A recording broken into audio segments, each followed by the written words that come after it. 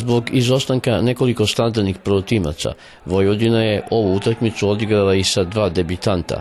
U postavi su bili Devetak i Vujanović, od kojih se u budućnosti mnogo očekuje.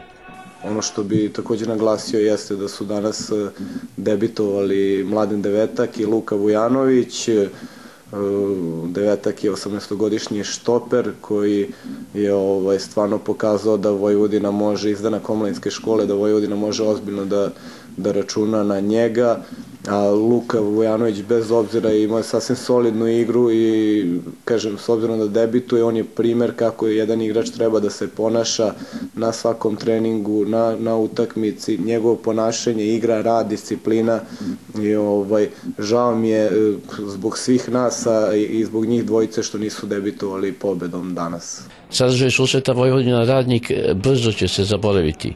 Bila je to jedna od najnezanimljivijih utakmica u ovoj sezoni na stadionu Karadžođe u Novom Sadu. Nismo ni mi ni Vojvodina da uspeli da uspostavimo neku tečnu igru.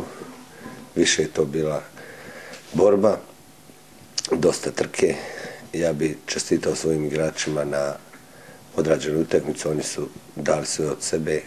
Videli ste i samo kad daju iznad maksimuma možemo se nadati nečemu u Novom Sadu.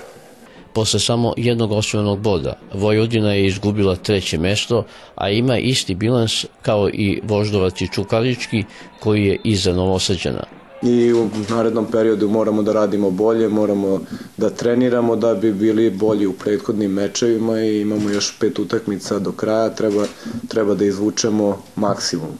U narednom kolu Novosadski Superligaš će gostovati u Bačkoj Palanci gde će se sastati sa Bačkom. Ovaj klub je u donjem delu tabele sa tri pobjede, četiri nerešena rezultata i deset poraza.